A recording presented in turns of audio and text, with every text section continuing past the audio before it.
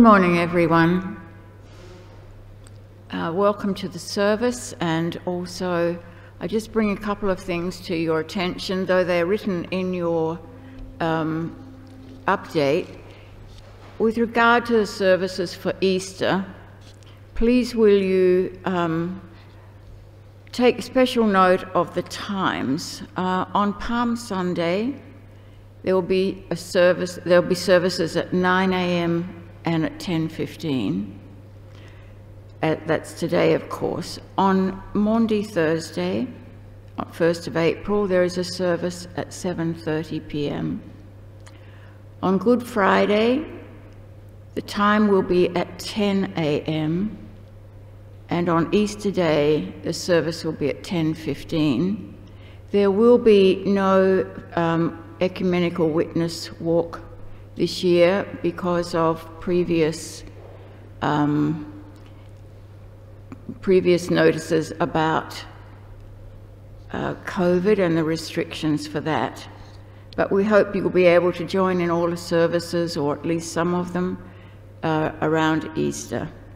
And I'd like to um, make special note today of the pleasure of Roy and his special day that will come later in the service.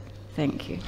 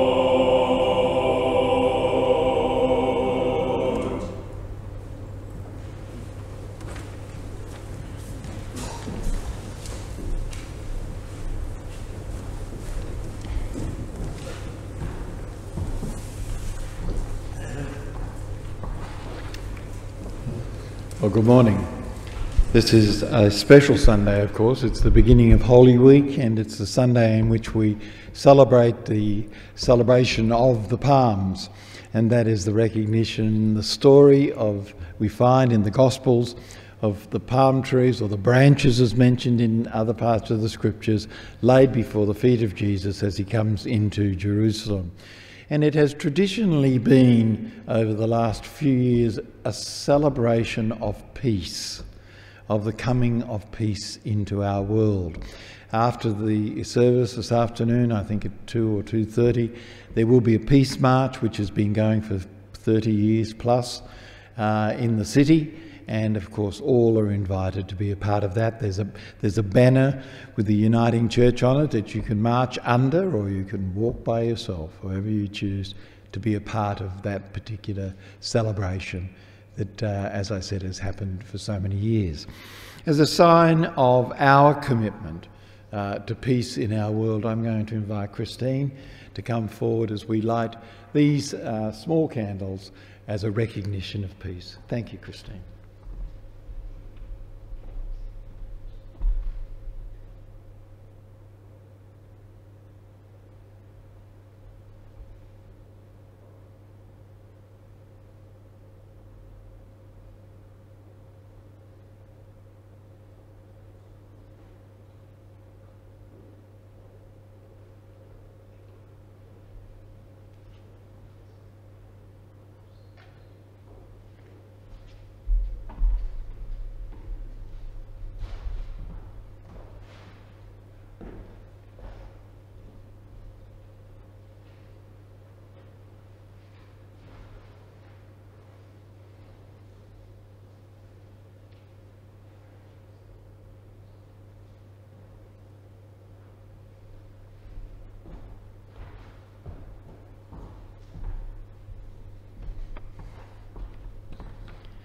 And as we reflected on our time of peace, let us use the gathering words to lead us into worship.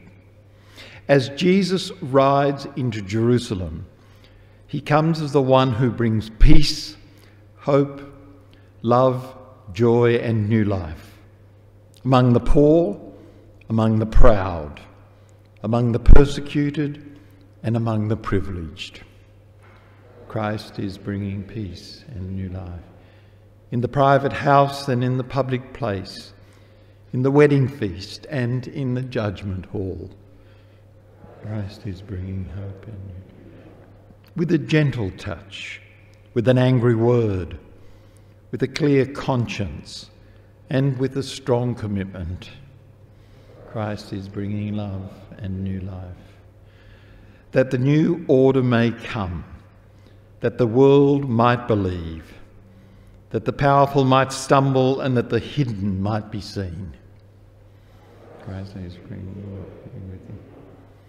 within us, around us, behind us, before us, in this place and in every place, at this time and for all time. Christ is making all things new. Let us sing together our first hymn.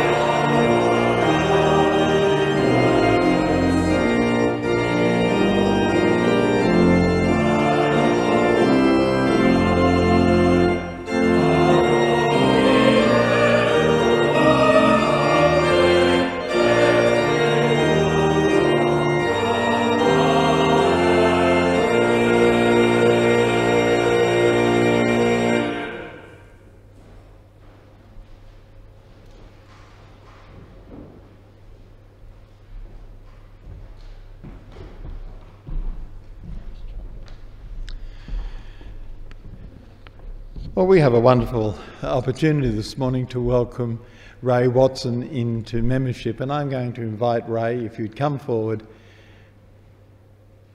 to be part of our gathering here. And you use that uh, side there if you like, Ray. No, you'll have to, have to come up here. Because of our live stream, everything has to be done from here, but if you want to take the, uh, the walk there. just with an introduction.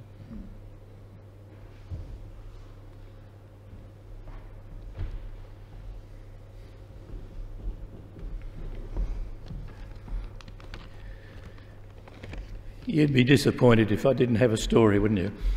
Um, when I was in theological college, one of our students had to receive into membership for the first time in his life uh, a man who had joined his church.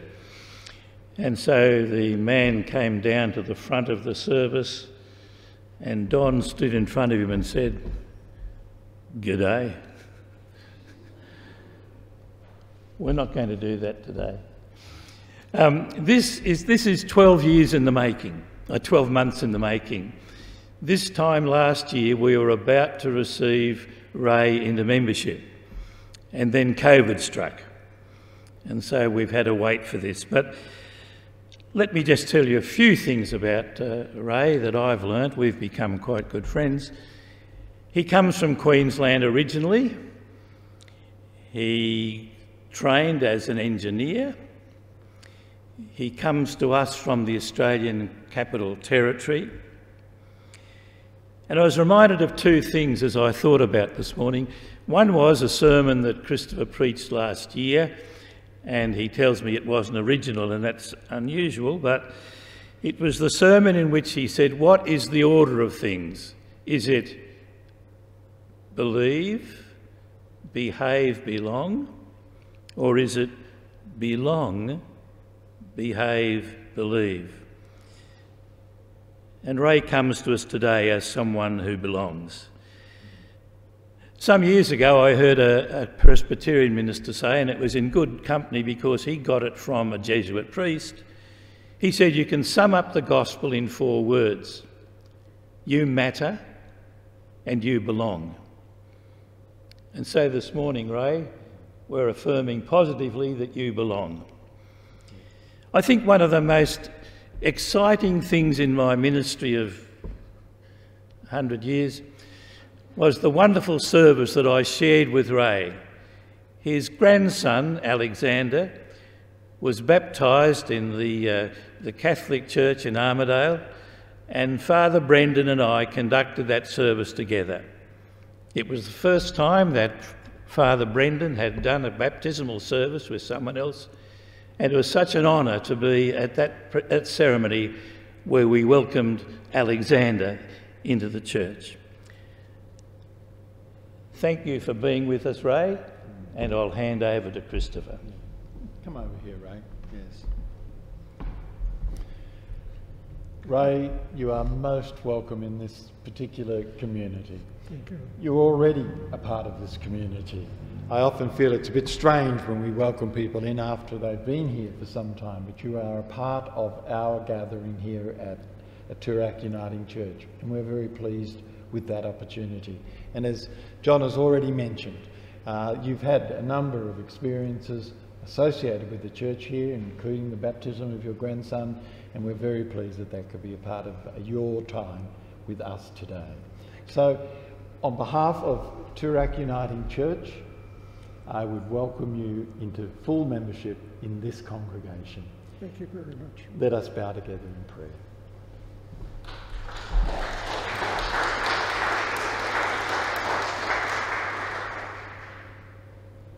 We give you thanks, loving God. The community can name us, conform us, can bring us together in so many different ways. I pray for Ray, for the opportunities that he has already had to connect with those who are here at Toorak, but also for the new opportunities that will be a part of his time together with us. We give you thanks for the ministry that he brings, for the ministry that he will receive from this community. And so bless Ray, bless us as a gathering together. May we be responsible in how we deal and treat Ray at this time, and may he have the opportunities to be able to share himself and his life experience with us. For this, we give you thanks. Amen. Amen. Amen. Thanks, Ray. Thank you. All the best. Thank you very much. And uh, uh, James is going to bring us our reading. But be, just as he's coming up here, if you are interested in membership, come to speak to myself or to John, and we will certainly uh, put you on the right track. Thanks, thanks, James.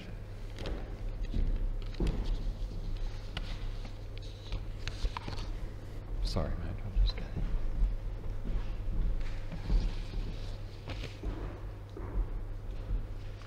The first reading is from Psalm 118, verses 1 to 2, and then verses 19 to 29. Oh, give thanks to the Lord, for he is good. His steadfast love endures forever. Let Israel say, God's steadfast love endures forever. Open to me the gates of righteousness, that I may enter through them and give thanks to the Lord. This is the gate of the Lord. The righteous shall enter through it. I thank you that you have answered me and have become my salvation. The stone that the builders rejected has become the chief cornerstone. This is the Lord's doing. It is marvelous in our eyes. This is the day that the Lord has made. Let us rejoice and be glad in it. Blessed is the one who comes in the name of the Lord. We bless you from the house of the Lord. The Lord is God, and he has given us light. Bind the festal procession with branches up to the horns of the altar. You are my God, and I will give thanks to you. You are my God, and I will extol you. O give thanks to the Lord, for he is good, for his steadfast love endures forever.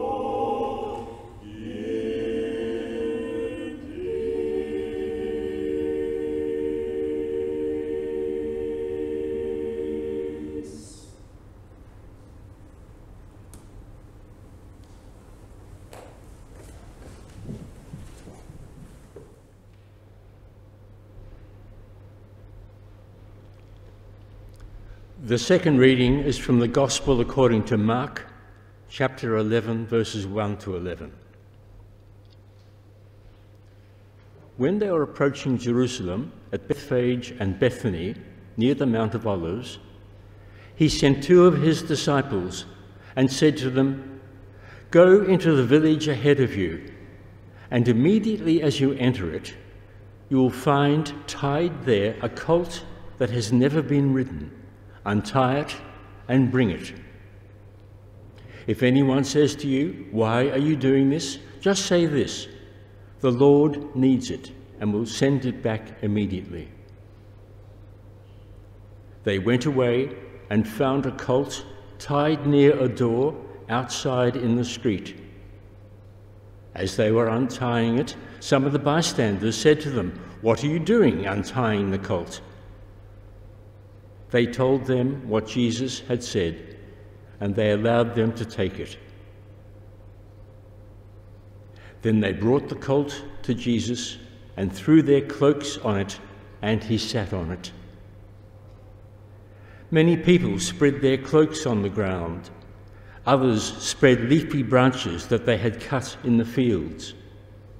Then those who went ahead and those who followed were shouting, Hosanna! Blessed is the one who comes in the name of the Lord. Blessed is the coming kingdom of our ancestor David. Hosanna in highest heaven. Then he entered Jerusalem and went into the temple. And when he had looked around at everything, as it was already late, he went out to Bethany with the twelve. These words can bring us new life. Thanks be to God.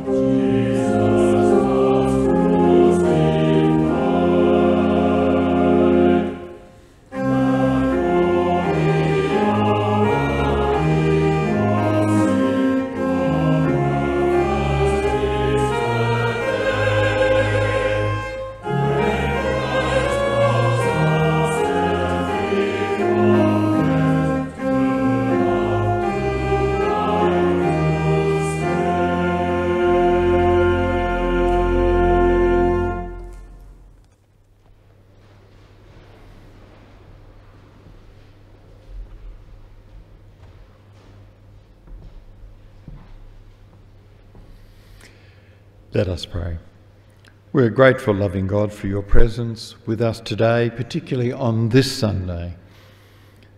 This Sunday of the celebration of Palms, of a recognition that it's Jesus who came from Capernaum, who gathered his disciples from around Palestine, comes into this centre of religiosity, the place of Jerusalem where he will be crucified.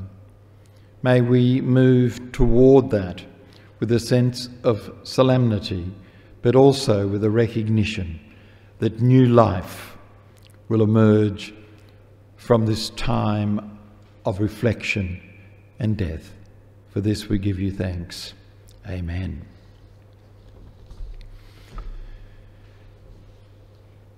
Now, you must be getting a bit tired of me mentioning my trip to uh, Jerusalem, which happened about, uh, I suppose, about 11 or 12 years ago. But I mention it so often because it was so significant. Um, I'd been a minister for many years and I hadn't been to Jerusalem before. And so I had the chance not only to visit Jerusalem but also to to be in uh, Israel and to spend time in Capernaum and other places as such. Jerusalem is a remarkable place today as it was in the time of Jesus. I may have mentioned once before that there's a psychological condition associated with some people who visit Jerusalem. It's called the Jerusalem syndrome. It can affect people psychologically who are normally psychologically healthy when they visit this central religious place. Jerusalem is overlaid historically, theologically, ideologically, religiously with so many different layers. It seems to be related, this syndrome, to the encounter with a place that has an overabundance of religious significance. And it's quite interesting that this syndrome, this psychological feeling that people have, is not related just to Christianity, but also to those who are Jewish who visit, who are Muslim who visit, and who are Christians who visit. Why does it happen?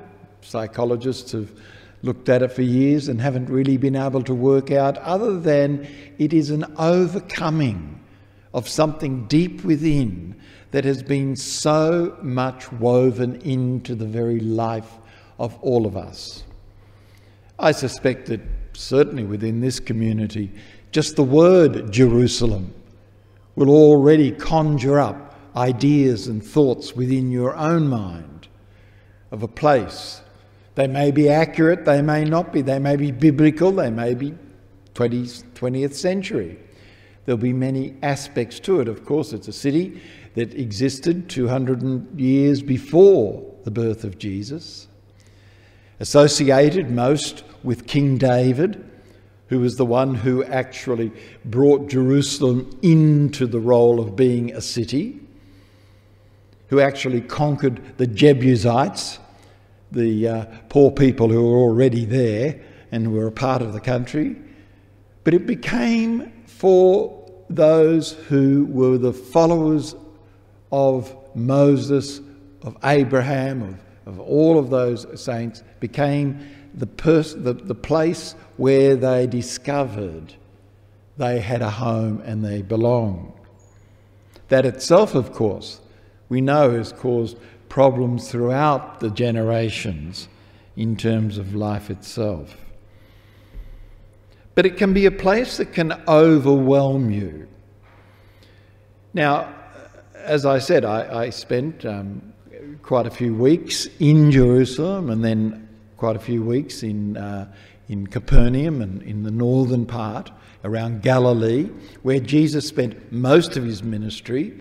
Can I say it again? Jesus was not a, a city boy, he was from the country, and his ministry was done mostly within the country.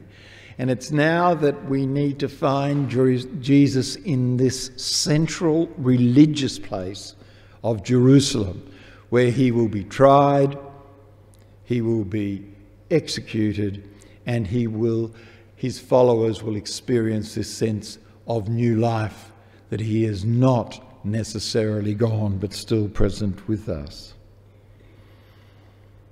I suppose that obsession with Jerusalem is something to do with the stories, with the myths, with the mysteries, with the messiahs, with the symbols, all associated with this place that can overwhelm each one of us.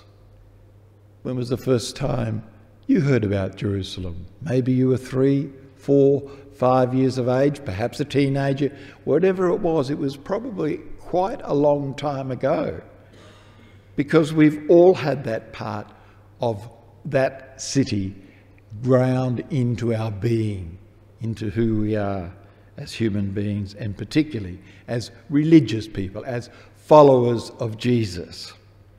As I said, we often associate Jesus with Jerusalem, but he's really associated, of course, with Galilee, with that whole area there, and Jerusalem now becomes the central focus just for a very short time in which we will find the life of Jesus being taken from him. By whom? By the religious authorities, by the political authorities as such.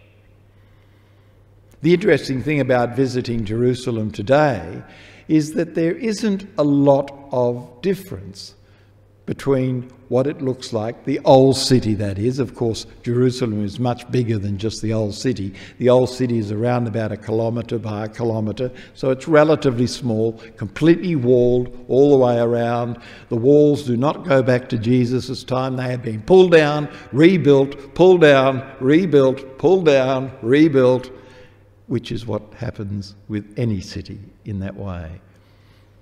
But they still remain with the very essence of what it is to be in a sacred place. I had the opportunity to actually see what we would call Golgotha. Now, it may not be as one would imagine. If you have a religious site, what's the first thing you do with it? Anybody have an idea what you do with the religious site? Have a guess. You build a church on it. That's the first thing you do is you build a church on a religious site. So it's quite interesting that Golgotha, Calvary, the place of Jesus' death, which archaeologists have a pretty good idea of where it is, from working out from the site where the walls were and so forth. It's in the basement of a church. Just a bit of a mound of dirt in the basement of a church. A garbage dump, which is what it was. We know that. Most of the garbage has been taken away now, probably as souvenirs uh, to be displayed in some other place. But it was in the very basement of a church. And down we went, down we went into this place and stood there and just reflected upon it for some time. At one level, it, it, it doesn't matter where Jesus was crucified, but there is something symbolic about being in a place where you know something so significant has actually happened 2,000 years earlier. And there we stood and, and looked at this particular place, and I think the priest who was leading us offered a prayer. But what I wanted to really say was that the city itself hasn't changed a lot. Probably the stuff they sell might be a bit different today. It's all made in Asia or somewhere rather than uh, in the Middle East, but it's pretty well the same thing. It's a trader's place. Now, not only is it a trader's place where you buy and sell, which we might think is a bit tacky when we're walking down because we're expecting something holier than that. Nevertheless, it is and has always been a crossroad not just a crossroad for trade, which it was, but a crossroad for ideas, for religious ideas, and so forth. And so Israel and Jerusalem, particularly, of course, has been a place where people have, have come together, talk, speaking different languages uh, and trading with one another and trading ideas with one another. So it became a very significant place.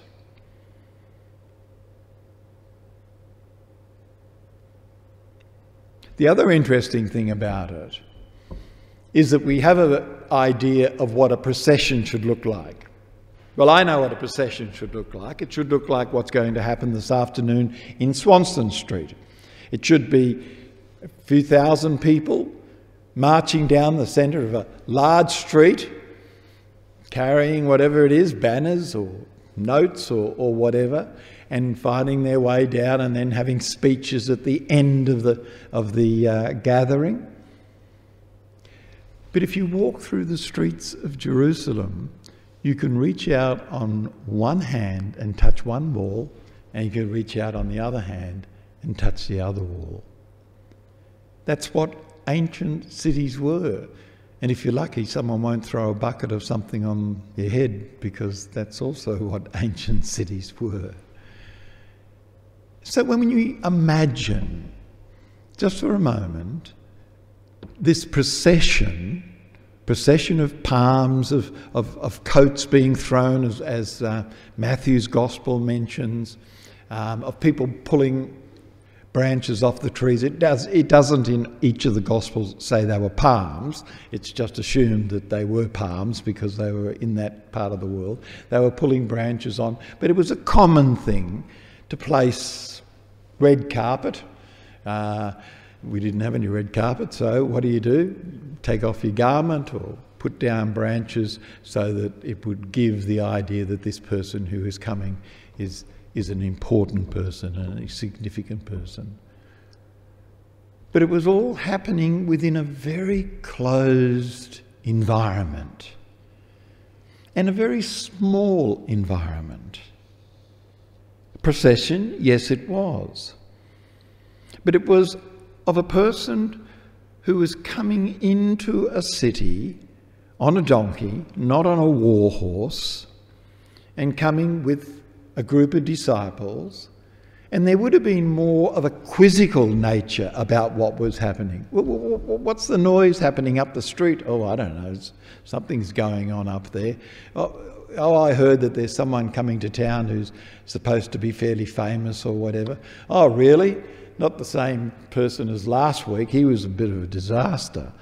And it would have been that kind of conversation that would have happened within the environment. Because remember, Jesus is coming into this environment as the hidden one.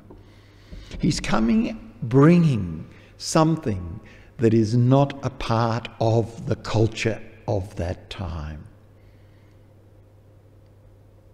Jerusalem is under the power of the Romans, and the Romans know how to do processions. They know how to make something seem particularly important. But not this. This was unimportant in one sense, and yet perhaps the most important thing that had ever happened before in the world. We read before from the, from the Gospel the story about David, King David. And I mentioned that King David was really the founder of Jerusalem, the one who brought Jerusalem into the realm of being a city and a significant city too. And of course, his legacy went on and on through Solomon and many of the others, other leaders of the time, even to the point where Matthew wants to link Jesus with David because he was such a significant person within the culture at that time and probably continues even uh, till today. I mentioned to the nine o'clock if you go to stay in Jerusalem and you want to stay at the best hotel, which one do you stay at? Who knows? King David Hotel best hotel in Jerusalem. That's where you stay. That's where all of the dignitaries from around the world stay. It remains a significant and fundamental part of the very nature of what it means to be Jewish around that idea. But I want us to look, just as we spend just the last few minutes on this, and that is to look at this story in three different ways. Now, this might be difficult because I was trying to write it out and I found it very difficult. First of all, there's a sense in which this story has a past, and that is the reference to it is the reference to King David. It's the reference to David being the, the one who will bring freedom to Jerusalem. By the time the Psalms were written, Jerusalem was really a vassal. That is, it was under the control of the Romans. And that this king, or at least the representative of this king, David, would be the one who would bring peace. How do you bring peace to a city? You bring it through violence, you bring it through war. And there were at this time, of course, the zealots who were there and wanted to make sure that they showed the Romans who was boss and that the boss was the king of Israel. And so the story itself reflects upon the notion that a person in the same image as David is going to take control and is going to bring back Jerusalem into its rightful place. And that's the first aspect, and that comes through from the Psalms when we read when we read the Psalms. And so Hosanna, Hosanna, he comes in the name of the Lord. But then there's another aspect to the story. Because he doesn't come as a conquering hero. Or does he? Well, he certainly doesn't come as a hero who has troops and is violent. If the Romans were going to do this, they'd have, I don't know, three or four hundred troops marching forward in front of the commander in chief and a few hundred behind. I don't, know, I don't know enough about my Roman history to know how they would do it, but they would do it with pomp and ceremony. Here we've got another kind of pomp and ceremony, and that is that Jesus comes on a donkey. Now, donkeys weren't quite as devalued as they are today. They were still something that you would use within a procession. And so we don't need to see the fact that Jesus came on a donkey as, as necessarily um, a weak thing. But he would have come as a small group of people who would have wanted to see something happen. Some would have thought, well, I don't know how this is going to happen, but there is going to be some kind of revolution and there will be a change of government. And one party will be out and another one was in. Well, you didn't really have parties back in that days, you had empires. So one empire will be out and another empire will be in. And that was the desire, obviously, from a very large group of people. Do you really want to live under a foreign emperor all the time? Of course not. People want a sense of freedom to be able to do what they want to do. And yet, here comes a message that they had not heard before. And that is there is going to be a transformation there's going to be a change. Things are going to be different. And that is, there is going to be a revolution. But it's going to be a revolution of the heart. And that is, Jesus is going to bring a new ideology, a new message, a new way of being in the world. And that way is going to be completely reversed. It's actually going to be from the inside out rather than from the outside in. Most often, we change each other from the outside in. I'm going to make you do this, and you'll do it.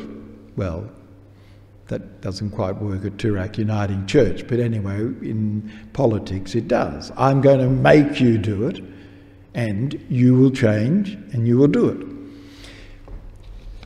This other notion, which is almost impossible to believe and to understand, is that there is an internal transformation that it will happen from the inside out. It'll be based upon, as we know, and it's mentioned over and over in the Gospels, it's based upon love. Now, we must be careful that we don't sentimentalize this. Because remember, in 2,000 years, we still look around our world and we see some of the most awful violence and war that we've ever seen. We've seen genocide over and over again. The only way I think that we can understand this is in two particular aspects. First of all, to do with time. We have no control over time. For us, 2,000 years is a long time. But maybe 10,000 years or 100,000 years is something that's going to take for this to take root within the very being of humanity. And that is that love can conquer all. Poets write about it, philosophers write about it, theologians write about it. We wish for it, we pray for it. It doesn't quite seem to happen, but that doesn't mean to say that people of faith can't still recognize that it can happen. That's because we worship the God of the impossible. And the impossible, of course, is that we can have peace within our time. Pray God we can. Or that we can have peace within our world. And that's what keeps our faith alive. Our faith alive is not by looking around and seeing the good things that happen. I have no problem looking around and seeing the good things that are happening. That's an important part of being a healthy human being. But there also needs to be a much deeper level, a much richer level, and that is to look around and see the things that aren't happening. And that's what faith is about. Faith is that belief in the God of the impossible I can't see how that could happen. It's totally impossible to my imagination. I cannot see how the world could live within a world of love and hope and peace and so forth. Well, now you're in the right place because now you're in the place of God. You're in the place of faith. You live into it. You live into the sense of impossibility of recognizing that it is beyond me to be able to make the changes. Do I participate in them? Do I acknowledge them? Of course I do. That's what it means to be, as I mentioned before, a healthy human being. To be willing to hold that these truths will come to being. Do I have the power to bring them about? No, I don't. I can participate, but I cannot necessarily do them. One of the theologians that I particularly like reading often talks about God doesn't so much exist. He's trying to, like all philosophers, play around with words. He said, God doesn't exist. That is, God's not an object out there that exists. God doesn't so much exist, God insists. God insists. That is, God comes to us as a presence that keeps working over and over within us. And so, to finish, Jesus rides this donkey into the city. It's a story probably embellished by the various gospel writers not mentioned by Paul as such, but something that gives a sense of hope that the world will change, that the world of the people will change. And it's written, of course, not only for the people of the day, it's written for us today, that we may see that the world can change, that the God of the impossible can do the possible can bring about a whole new way for us to understand and live within the world. March for peace. Work for peace. hope for peace, live for peace, be peaceful. Oh, hold on. I think that was actually meant for me. Uh, but anyway, we'll add it to everybody. Live for peace. And that is then entering into the very nature and the principle of God. And that is, even though it's impossible to see at the moment, and I can't see it, I can't see the world. If I watch television on, on at seven o'clock on, on uh, during the week, now you know that I watch the ABC. I can't see it. And the journalists certainly can't see it because all they want to do is show me more and more pictures of war. Very seldom do I see a picture on my television set that has to do with peace or a new way of thinking. You get it occasionally. But when I live into it, it does something to me. It changes me. It gives me maybe a sense of hope it helps me with one of the pieces that the choir sang right at the very beginning earlier about going through the valley of darkness and yet still being able to hold life, live life, know that life is of value and worthwhile. So many things that this simple story of Jesus coming into Jerusalem can remind us. Maundy Thursday, we will continue here and gather. Good Friday, we will gather again to remember the death, the crucifixion of Jesus. Easter Sunday, daylight changing time. Don't forget that. We will also come. Why will we come? Not to say that suffering is all over, not to say that, oh, it's finished, it's all done, life is now beautiful and wonderful. It's not. We know that. What it says is that there is hope and that the God of the impossible is a God who I follow and I'm willing to place my life and energy into that kind of God. Amen.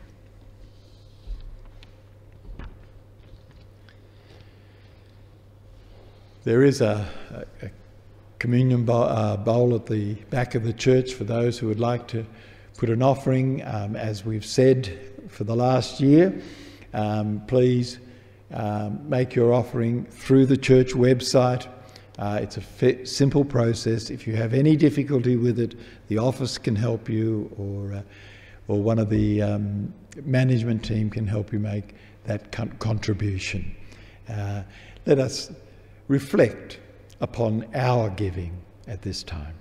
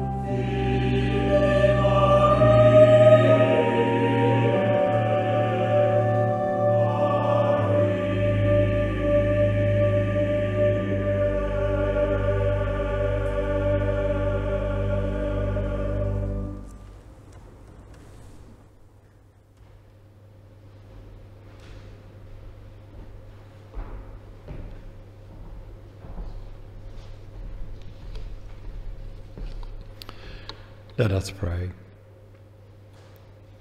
We're grateful for the gifts that come into our lives, our God. We pray for the wisdom and the courage to share what we have with those around us. We thank you for the money that is given to this community.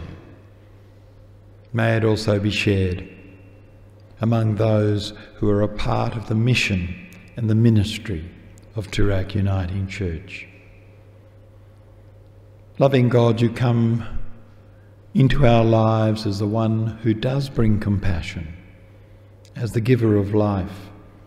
On this Palm Sunday, may we give honour and praise to you and to the one who brings life into our world. But we also recognise the reversal of what it means to be a king, not to sit on a great throne above us, but perhaps to sit on the pavement with us. The procession, our God, is not some great celebration of power but rather a recognition that even in the smallest gathering of people, those who are committed to peace and to hope and to love will have their day. So establish, we pray, our God, a new order, an order of justice and of peace and of love within our world today. Give us what we need so that we may grow in wholeness and compassion. We may enlarge our souls through forgiveness of others and the willingness to accept forgiveness when it is shown to us. Strengthen us in the time of testing so that we will resist all evil and have courage to face that which is malice in ourselves and in others. For in our lives, our community, our world, we desire tenderness, strength, love, resilience, and wisdom. For yours is the emerging world, now and forever. Amen. Let us sing our final hymn number 333 All Glory, Praise, and Honour.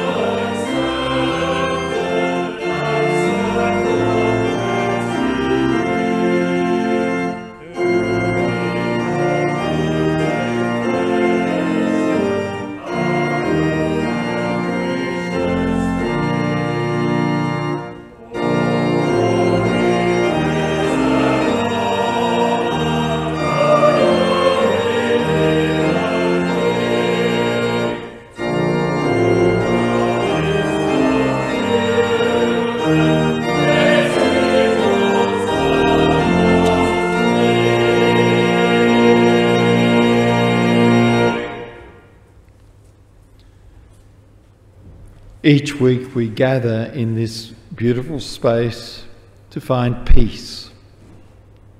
Each week, words and music offer and celebrate peace. Peace with hope, which may be instilled within us. Now take the peace you have found in this service into your daily life. Renewed in your faith and inspired to act, let us be the peacemakers the world aches for. And by being peacemakers, let us find the peace we long for. Go in peace, make peace, be at peace. Amen.